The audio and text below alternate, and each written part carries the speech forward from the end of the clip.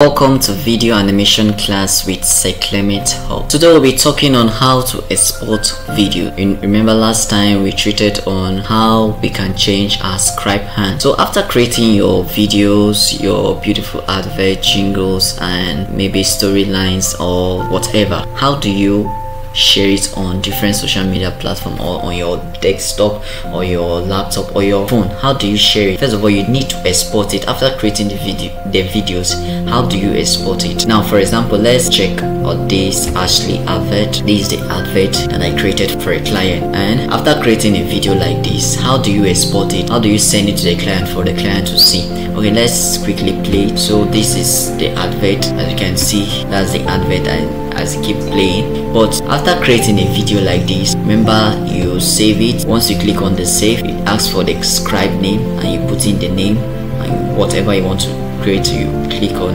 and click ok. Now this is to export but you don't use this to export to a file. If you click on this you want to export to a file one you won't be able to access this access the your video. It will be stored as dot scribe. The extension name will be dot scribe on your system. If you use this method if you go back to go and check the extension will be dot scribe which you cannot play on your video player like um, VLC or your Windows player video player. There you cannot save it there. This one is just to save for your on your video scribe and once you're done you click ok. Or for example you can still save it online. Make sure if you want to save it online make sure you have maybe you have an internet access. You click to save it. You save a copy to online scribe. If you want to save it there you can also click there to save it. But if you want to export it you click on this share button which is download or publish scribe video. Once you click on it make sure your you have internet access before you click on the share. Because if you don't have it it's going to take a very long time for it to play now you can add your logo if you wish to before you share the video. And also if you want to download the video you can download the video. This is the method that we are going to use to download on our system. Here is to share the link. Just to share the link here is to share it directly to to publish it directly to your youtube channel. This one is to share it on vimeo. And this one is to download as your powerpoint template. You want to download it as your PowerPoint template. If you want your video to zoom at the end, you can click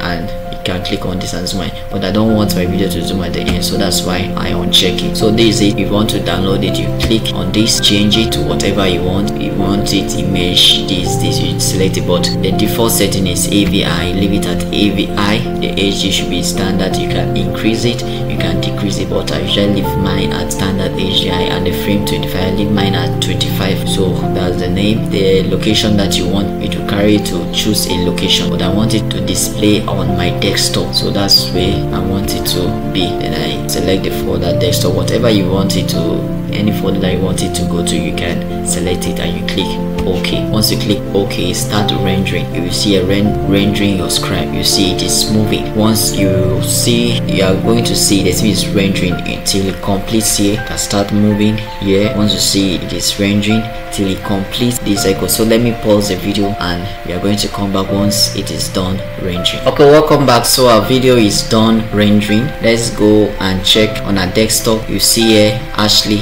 advert that is done let's click on our play store. See remember i not put any background sound music so this is it that is playing on our video scribe. The format is an AVI the video is an AVI so if you play it on some video player it will not play. If you carry it to your phone share it to your phone it will not play. So there is an app that you can use to reduce the size and also convert it to an mp4 where you can play on whatsapp and other social media. I am going to drop the link where you can download the app. The app is video converter. You can reduce the size. So after getting this video you know there are videos that get for a very a very large size. And if you carry this video directly um, on your social media it will not play. So what what you need to do is to use the app called video converter which is there on the link. You check the description of my video and you're going to see the link. Make sure you download it. And if you don't know how to go about the app just drop the comment and i'm going to make a video on it. But if you know you can so with this we have come to the end of our class. So on our next class we are going to see how we are going to add images svgs svg which is also scalable vector graphics and character elements to our videos. So we have been adding text. So now we want to add images on our next video. Thank you. See you next time. Goodbye